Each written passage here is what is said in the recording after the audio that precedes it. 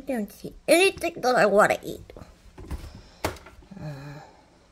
Mom? Mom? Atticus, Yes? what do you need? I need something to eat. Well, what's in the fridge? You're looking in there. Um, any mushrooms? Oh, yeah, we should. You know what? We really should cook those up because they are going to be um, going bad soon. If we don't cook them up.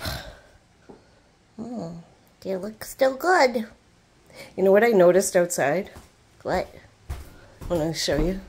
Yeah. There are some mushrooms outside. Can we eat them? Oh, well, actually, no. we can't eat the ones outside because we don't know if they are poisonous or not. Oh. Do you want to see them though? Yeah. We're just not going to touch them. We can look at them. It's little. It looks different than the ones in the fridge. Yes, it does. So, we don't want to eat any mushrooms outside, even if they do look exactly like the ones in the fridge, because the ones in the fridge, they were made on a farm, and the farmers know what kind of mushrooms they made. Yep. But we have no clue what these are, so we do not want to eat these, but they're beautiful. Look at them all. Where do you think they all came from? Uh, the ground. Yeah, they did come from the ground.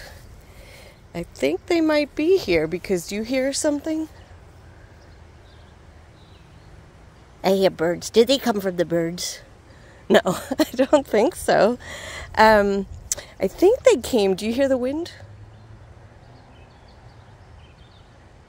I hear it a little bit. The birds are loud though. Uh, I think that we had all this rain and the mushrooms like the rain.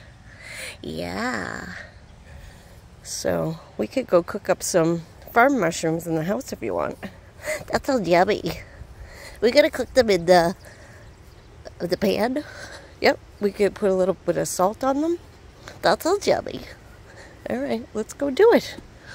Okay.